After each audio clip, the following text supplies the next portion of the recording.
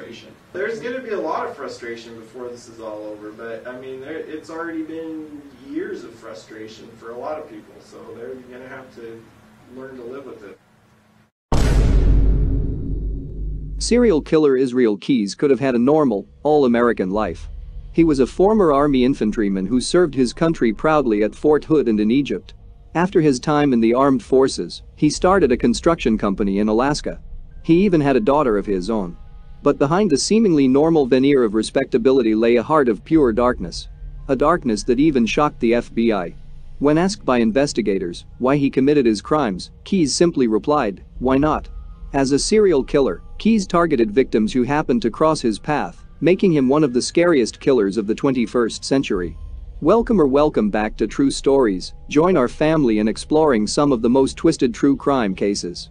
As always, don't forget to give the video a thumbs up and subscribe. Now, let's get into it. Keyes was born in Cove, Utah on January 7, 1978.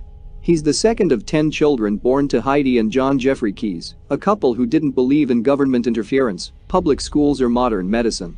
Keyes was a toddler when his family left Utah for Colville, Washington. They lived an isolated existence in the woods, where Keyes grew up without heat or electricity. The Keyes family were faithful parishioners of a Christian identity church called the Ark, whose minister, Dan Henry, preached a white supremacist gospel, and the family strictly abide by the religion. Israel Keyes began showing the first signs of psychopathy in his childhood, he had most of the traits associated with most serial killers. Growing up, Keyes broke into neighbors' homes to steal guns, loved hunting, would pursue anything with a heartbeat, and torture animals. While in custody Keyes himself said, I've known since I was 14 that there were things that I thought were normal and that were okay, that nobody else seemed to think were normal and okay. After a teenaged Keyes told his family he no longer shared their faith, his father cut ties, though he remained close to his mother. Israel Keyes later confessed that he committed his first crime in 1998, shortly after he enlisted in the U.S. Army. The details of that first crime are unclear, but people who served with Keyes remembered him as often drunk and withdrawn throughout his service. After his honorable discharge in July 2001, he lived on the Makah reservation with the mother of his daughter. Keyes received a DUI while in the army, but otherwise had had no trouble with the law. In 2001, Keyes began his killing spree in earnest. Keyes chose his victims at random and said that they were more victims of opportunity he would often wait to accost people in places like parks, cemeteries or campgrounds. But not as much to choose from, but because there were also no witnesses. There's no one else around, he told authorities. This was so he could avoid detection. Back when I was smart, I would let them come to me. Just remote area.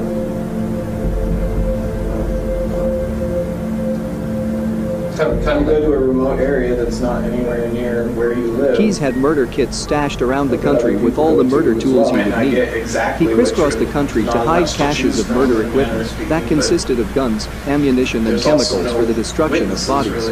He also paid in cash and would take the battery out of his cell phone as he drove to further fly under the radar. However, perhaps a factor that he thought made him a better person, he had one hard and fast rule he would never target or kill children, or anyone who had a child, because he had a daughter of his own.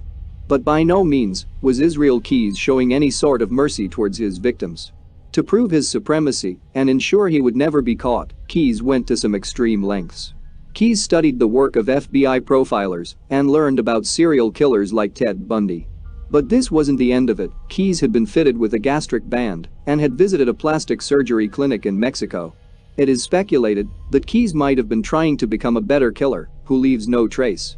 A lap band could mean he wouldn't get hungry as often, and he might have changed his fingerprints or removed body hair to lessen the chances of leaving evidence behind.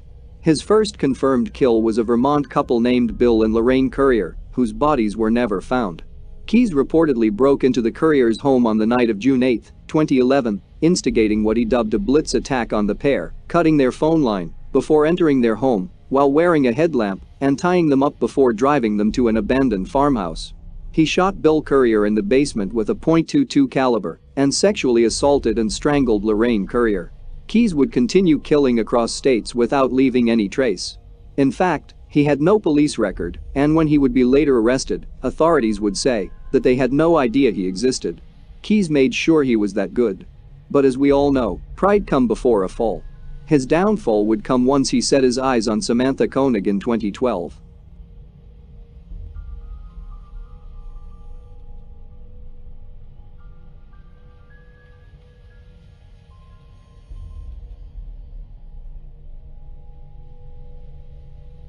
February 1, 2012, began like any other day at work for 18-year-old Samantha Koenig, but it ended in unspeakable tragedy.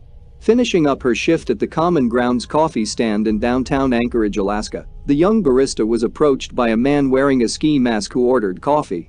After Samantha handed him the order, Keyes pulled out a gun and demanded money, and the terrified teen quickly complied. Forcing himself inside the stand, Keyes tied the young woman's hands together with zip ties before forcing her into his white Ford Focus, where she tried, and failed, to escape the abductor, who held a gun to her head and said he would kill her if she tried again. Driving around town with Samantha still bound in the vehicle, Keyes explained to the terrified teen that this was simply a kidnapping for ransom and that if she cooperated, she'd be returned to her family unharmed. Keyes kept Samantha alive for several hours and even drove back to her coffee stand to retrieve her mobile phone. He then used it to send a fake text message to her boyfriend, who was due to pick her up after her shift. The text read, Hey, I'm spending a couple of days with friends, let my dad know. Keyes took Samantha to his property, where he tied her up in a shed. He turned his radio up so no one could hear her screams and pleas for help. After demanding Samantha's address, Keyes made his way to retrieve her ATM card from her boyfriend's truck. In a gut-wrenching twist, while stealing the debit card, Keyes was confronted by Samantha's boyfriend, who was already on edge after discovering Koenig was not at work when he arrived to pick her up as well as having received the strange text message from her phone earlier, which had, in fact, been sent by Keyes. Thinking he was a random burglar attempting to break into his car, Samantha's boyfriend ran inside to get help, while Keyes fled. Returning to his property, Keyes poured himself a glass of wine as he returned to his shed and raped a sobbing Samantha. He then strangled her to death. Keyes returned inside, packed for a pre-planned cruise in New Orleans, woke his daughter for school, and left for the airport. Returning to Anchorage on February 17, 2012, Keyes began preparing a ransom note, but first, he decided to remove Samantha's body from the cupboard. He applied makeup to Samantha's face, frozen and lifeless, before unsettlingly sewing her eyes open with fishing line to give her the appearance of being alive. He then took a Polaroid of her holding up that day's newspaper. Keyes typed a note demanding $30,000, and he left this, as well as the photograph of Samantha staged to look alive, in a park under a memorial flyer of a dog named Albert, before using Samantha's phone to text her boyfriend. A few days later, Keyes drove to Matanuska Lake, dismembered her body, cut a hole in the ice, and dumped her remains in the lake. At the same time, Samantha's father, James Koenig, believing his daughter was still alive after seeing the sickening photograph, was depositing the ransom money into Keyes' account, with the $30,000 having been generously donated by members of the community. As he had instructed her family to deposit the money into her debit account, authorities were able to determine that the perpetrator was driving a white Ford Focus. Keyes was then being pulled over for a traffic stop, where authorities found dye-stained bills from a bank robbery, a ski mask, a gun, and Samantha's phone and debit card. Keyes was quickly arrested, and that would be the downfall of the self-proclaimed serial killer. If he hadn't become sloppy and killed Samantha Koenig in his hometown on that fateful day, authorities agree it's very likely he may never have been caught at all. Following the arrest, he admitted to abducting Samantha Koenig from the coffee stand. He would later give police more details, though on the condition that they made one promise keep everything out of the press. The reason?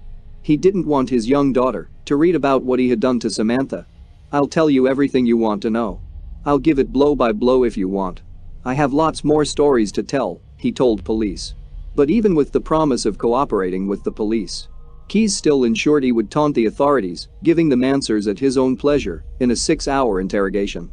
Um, so talking about other crimes, um, uh, you know, we, we wanted to kind of pick up where we left off on some things, uh, give you any information that uh, you might be thinking about over the last few weeks. Right.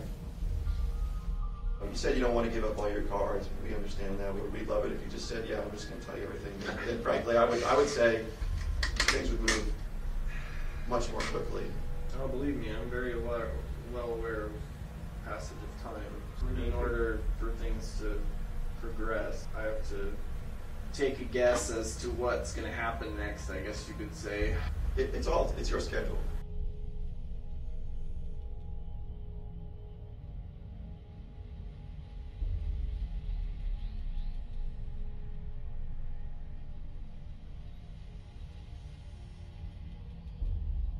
However, he labeled fellow serial killer Dennis Rader, aka BTK, a wimp for professing remorse for his killings. He began telling authorities about all the other crimes he'd committed. In fact, he seemed to take pleasure in sharing the grisly details. But in May 2012, things began to take a downhill spiral after Keyes realized the weight of his actions and the consequences he would face. During a routine hearing, Keyes tried to escape from a courtroom after breaking his leg irons. Fortunately, his escape attempt was unsuccessful and authorities once again restrained him. But that was a sign of things to come. On December 2, 2012, Israel Keyes managed to conceal a razor blade in his jail cell at the Anchorage Correctional Complex in Alaska, which he used to take his own life. He left behind a note which offered no insight as to his additional victims. Even in his grave, he would still taunt the police. Under his body was a rambling letter that was later called a creepy ode to murder, which offered no clues as to the identities of his unnamed victims. It but rather described them as pretty that they weren't dealing with just a murderer. But this was not the end of the story. Most methodical serial killers Alaskan authorities released Keyes a drawing of 11 skulls and fellow killer Ted Bundy, which they claimed was drawn by Keyes he saw himself in the notorious murderer. The note, which was written in his blood, was captioned with three words. We are one. According to the FBI, this is the most tacit acknowledgement by Israel Keyes of the 11 lives he took without remorse. We've come to the end, thank you for watching, don't forget to give the video a thumbs up and subscribe. Till next time.